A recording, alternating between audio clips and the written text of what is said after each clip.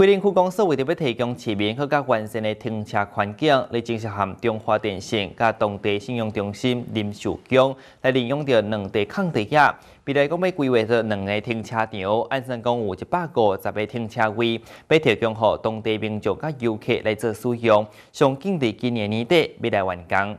这几年因为沙湾地区的各项建设，带动了整个规定区的发展，公司为了让民众有更加便利的交通环境。现在啊，即个规划新的停车场，已经顺利向中华电信以及林秀江领用了两地空地，加上市府提供相关的经费，也将规划两个新的停车场提供民众使用。阮即届非常的感谢咱林秀江吼，咱所有的土地伫迄个新公路二段遐，吼有一块呃，大概规划可以停了将近一百辆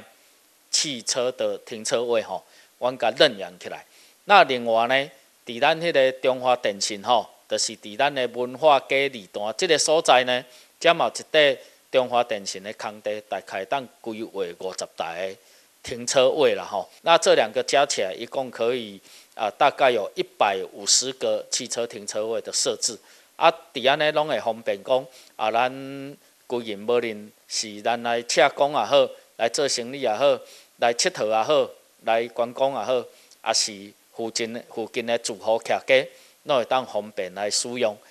即两个停车场上紧会使伫今年底来完成，预计总共会使提供一百五十个计位，地点也拢是伫人口聚集的所在，相信会使改善当地的交通环境。记者郭维规定区采访报道。